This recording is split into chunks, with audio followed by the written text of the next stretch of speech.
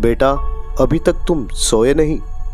पापा मुझे आप आज कहानी सुनाने वाले थे ना? हाँ हाँ कहो कौन सी कहानी सुनाऊं तुम्हें? पापा कोई भूत वाली कहानी सुनाइए ना। क्या? भूत वाली कहानी? क्या तुम्हें डर नहीं लगता? पापा इसमें डरना क्या है? भूत असलियत में होते ही नहीं। अच्छा तो ठीक है। आज मैं तुम्हें एक भूत की कहानी सुनाता हूँ। बौना भूत की कहानी। बहुत समय पहले की बात है, शिखरपुर गाँव, जो कि एकमात्र ऐसा गाँव था, जो कि जंगल और पहाड़ों से घिरा हुआ था। उस समय बारिश का मौसम था। बारिश की वजह से सारे गाँव के लोग अपने अपने घरों में थे, पर उस समय एक घर में काफ़ी हलचल थी। वह हलचल किसी और की नहीं बल्कि गाँव के मुखिया के घर में हो रही थी। मुखिया जी छाता पकड़े अपने घर के बाहर खड़े थे और मुखिया जी के घर के अंदर गाँव की कुछ महिलाएँ थी। मुखिया जी थोड़े घबराए और थोड़े खुश भी थे, क्योंकि बात खुशी की ही थी। मुखिया जी की पत्नी आज अपने बच्चे को जन्म देने वाली थी।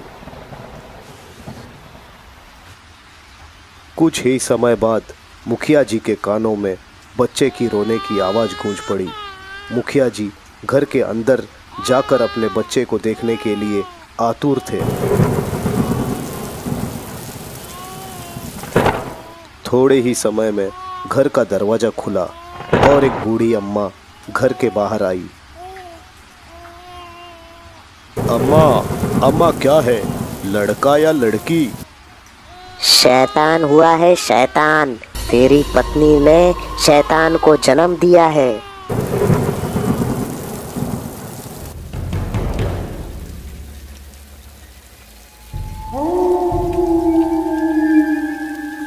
ओम ह्रीं क्लीं चामुण्डाय विच्चे स्वाहा।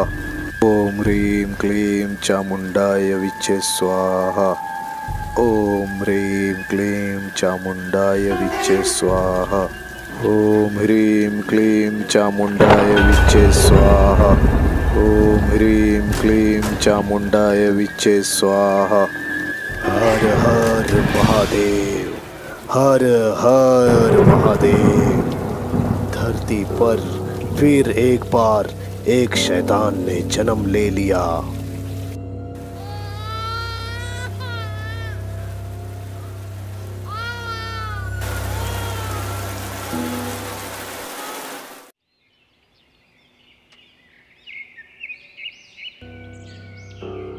मुखिया जी जो भी हुआ बहुत बुरा हुआ। अब आप क्या फैसला लेंगे? फैसला? फैसला क्या है? शैतान जैसा दिखता है। ले जाकर गाड़ दूँगा जंगल में और क्या? सही फैसला लिए हो मुखिया जी। पापा फिर क्या हुआ? उस दिन दोपहर में ही गाँव के कुछ लोग मुखिया जी के साथ मिलकर उस बच्चे को जंगल में गाड़ दिए। तो क्या वो बच्चा मर गया? शैतान था वो, शैतान। ऐसे कैसे मरता? ज़मीन चीर कर बाहर निकल आया वो।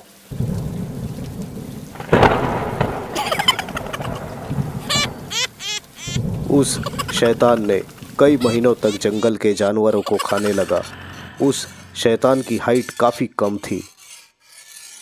अब वह शैतान गाँव के सीमा रेखा तक पहुँचने लगा। कई पालतू पशुओं को अपना आहार बनाया। जिससे कि गाँव वालों में काफ़ी डर का माहौल बन चुका था। मुखिया जी, वो जो कोई भी है, हम उसे छोड़ेंगे नहीं। हमारे कई पशुओं को मार दिया है उसने। हाँ हम उसे छोड़ेंगे नहीं। मुझे तो लगता है कि किसी आदमखोर बाघ का काम है। सही कहा, बिल्कुल सही कहा आपने मुखिया जी। बाघ ही होगा। डरो नहीं, हम वन विभाग से बात करते हैं। मुखिया जी ने वन विभाग में इस बारे में बात किए और कुछ लोग गन लेकर जंगल में घूमने लगे। इस बात की भनक उस भूत को लग गई।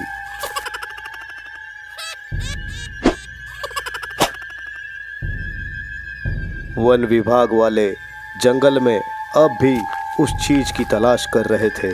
रात भी हो चुकी थी।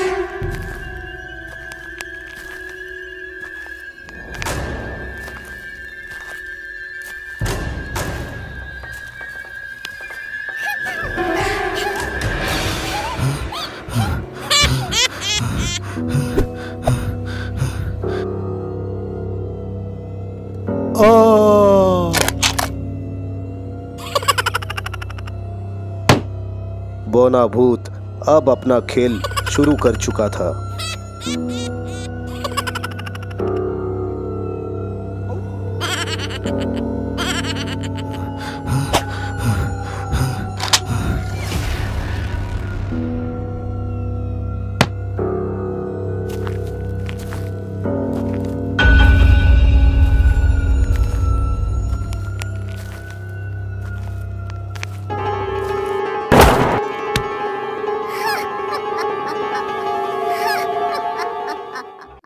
एक एक कर उसने सारे वन विभाग के ऑफिसर को मार दिया। गाँव में डर का माहौल था। लोग अब भी अपने घर से निकलने से डर रहे थे। पापा बोना भूत? मैं समझा नहीं। चिंटू बेटा यह वही शैतान है पर इसकी हाइट कम थी इसलिए लोग इसे बोना भूत के नाम से जानते थे। परंतु भूत को खुद में एक नया चमत्कार दिखा और चमत्कार यह था कि रूप बदलने का चमत्कार।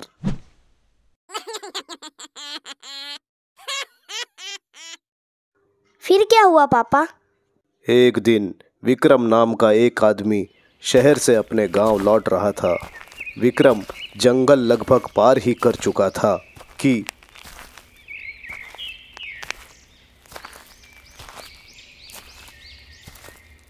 चाचा? ओ चाचा।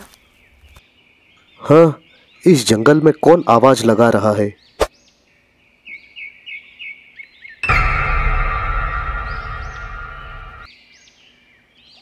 चाचा आप कहाँ जा रहे हैं? मैं मैं अपने गाँव जा रहा हूँ शिखरपुर। तुम कौन हो? और अकेले यहाँ जंगल में क्या कर रहे हो? चाचा मुझे बहुत भूख लगी है।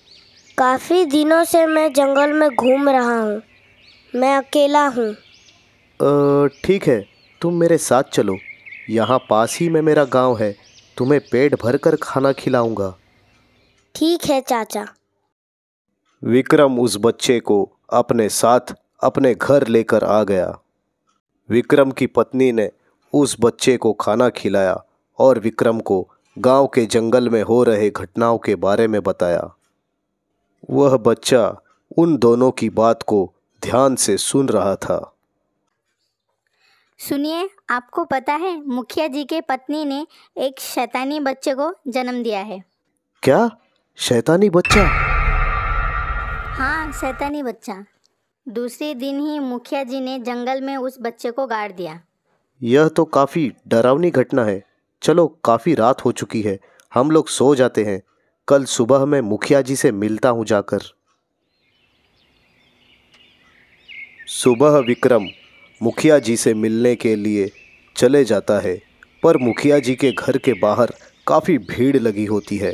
वह थोड़ा आगे जाता है तो वह काफ़ी डर जाता है। विक्रम देखता है कि मुखिया जी के घर के बाहर पेड़ पर मुखिया और उसकी पत्नी फांसी पर लटक रहे थे। मुखिया जी और उनकी पत्नी को फांसी पर लटकता देख विक्रम ने गाँव के एक युवक से पूछा अरे अनिल ये सब क्या है? कैसे हो गया? पता नहीं कल तक तो मुखिया जी ठीक ही थे पर अचानक से ऐसे हो गया। हम सभी हैरान हैं। विक्रम तुरंत घर आकर इस बात की जानकारी अपनी पत्नी को दी। क्या कह रहे हैं आप? मुखिया जी और उनकी पत्नी ने फांसी लगा ली?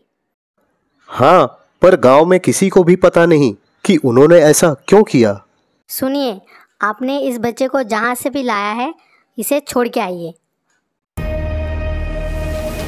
हाँ मैं इसके माता पिता की तलाश करता हूँ और इसे छोड़कर आता हूँ।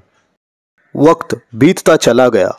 विक्रम खेतों में काम करता और समय मिलने पर जंगल में मिले उस बच्चे के माता पिता की तलाश भी करता।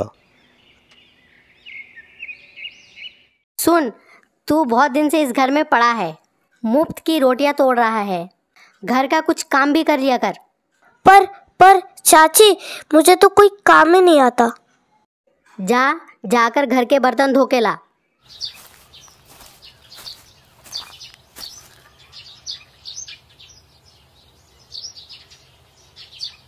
अरे अरे बेटा ये क्या? तुम तुम बर्तन क्यों धो रहे हो? चाची ने कहा है चलो चलो अंदर घर के अंदर चलो। सुनो तुम ये क्या कर रही हो? एक छोटे बच्चे से बर्तन साफ़ करवा रही हो। ये गलत है। देखो जी बहुत हो गया। इस बच्चे को तुरंत छोड़ कर आओ। मैं इसके माता पिता की तलाश कर रहा हूँ। इसके माता पिता मिलते ही इसे छोड़ दूँगा। विक्रम जब खेत में काम करने चले जाता तो विक्रम की पत्नी उस बच्चे से घर का सारा काम करवाती थी। चल अभी घर के बाहर में भी झाड़ू लगाना है। मैं थक गया हूँ चाची। बाद में झाड़ू लगाऊँगा। क्या थक गया है? रुक अभी तुझे बताती हूँ। रुक जा रुक जा वही रुक जा नहीं तो मुँह तोड़ दूँगा। क्या तेरी इतनी हिम्मत? मुझे मारना इतना आसान है क्या? क्या समझ से रखा है मुझे? ये झाड़ू मार ये कपड़े धो ये बर्तन साफ़ कर। घर के बाहर झाड़ू मार मैं घर का नौकर हूँ क्या? अब तक तेरे पति के वजह से शांत था मैं।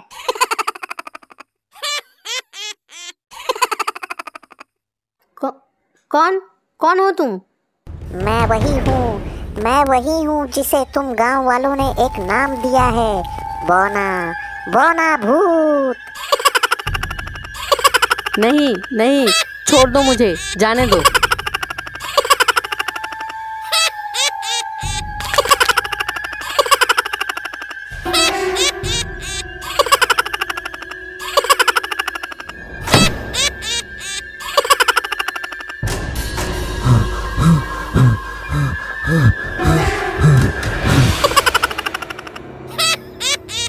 ये ये तुमने क्या कर दिया? तुम तुम कौन हो? अरे घबरा क्यों रहे हो चाचा?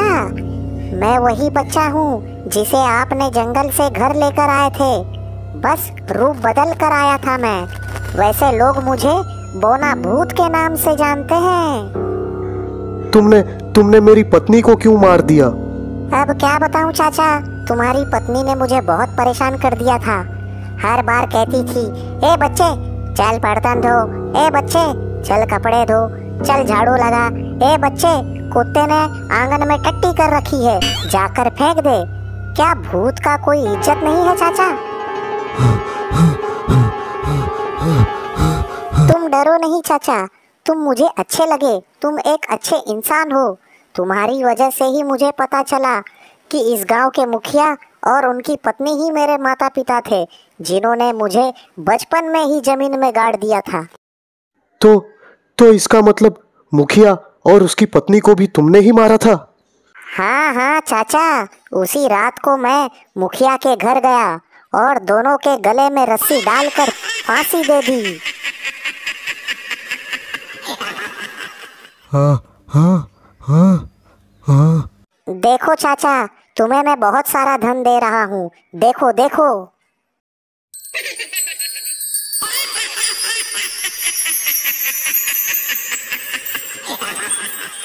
अरे बाप रे इतना सारा सोना।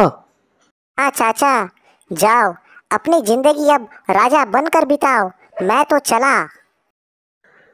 बोना भूत विक्रम को बहुत सारा धन देकर वहाँ से चला जाता है। पापा पर बोना भूत ने विक्रम को क्यों नहीं मारा? बोना भूत की एक विशेषता है यदि उसे कोई इंसान पसंद आ जाता है तो वह उसे बहुत ही धनवान बना देता है। बोना भूत रूप बदल बदल कर नए नए गाँव जाने लगा। वह बहुत से लोगों को मारने लगा था। लोगों की छोटी से छोटी गलती होने पर भी वह लोगों को मार देता।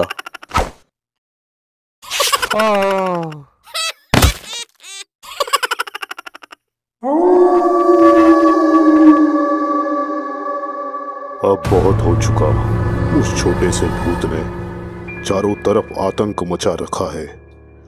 मनुष्य, पशु सभी को मार रहा है वह दुष्ट। उसका अंत करना ही होगा। हर हर महादेव हर हर महादेव। अचानक से मौसम बदल रहा है। लगता है आज कुछ होने वाला है। आज तेरा अंत होने वाला है दुष्ट। इसलिए मौसम बदल गया है। ओह मेरी मृत्यु। कौन मारेगा मुझे? मुझे तो बचपन में भी ज़मीन में गाड़ दिया था परंतु अभी भी तो ज़िंदा हूँ मैं। चमत्कार है ना? तुमने बहुत से लोगों को मारा है। हाँ तो बहुत से लोगों को भी तो धनवान बनाया हूँ मैं। आप लोग मुझे मारने आए हो या मुझसे धन मांगने? धन की कोई इच्छा नहीं मुझे परंतु आज मृत्यु होगी तेरी इतना तय है।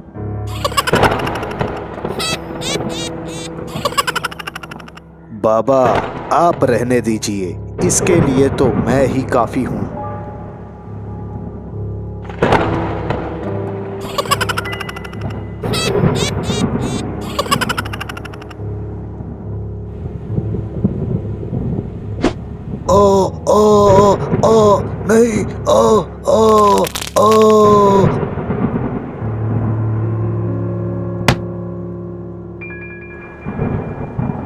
ओ गुरु, मर गया तेरा चेला। अब तेरी बारी। हे महादेव, हे भोलेनाथ, मैं आज उस शस्त्र का आवाहन करता हूँ, जो आपने मुझे वरदान में दिया था। आज अगर ये दुष्ट बच गया तो इस संसार में कोई नहीं बचेगा। हर हर महादेव, हर हर महादेव। मुझे मारने के लिए ऐसा कौन सा हथियार मंगा रहा है, गुरु? जरा मैं भी तो देखूँ। मंगा ले मंगा ले।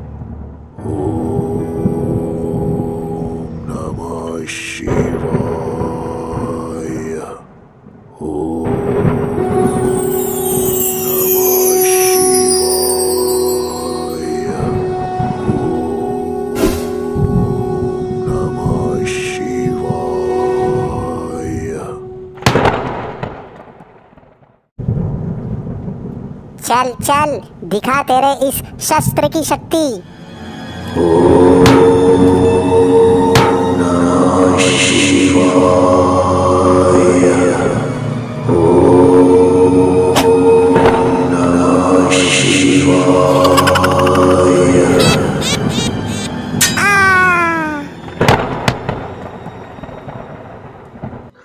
महादेव से मिले त्रिशूल से उस बोना भूत की मृत्यु हो गई। हर हर महादेव।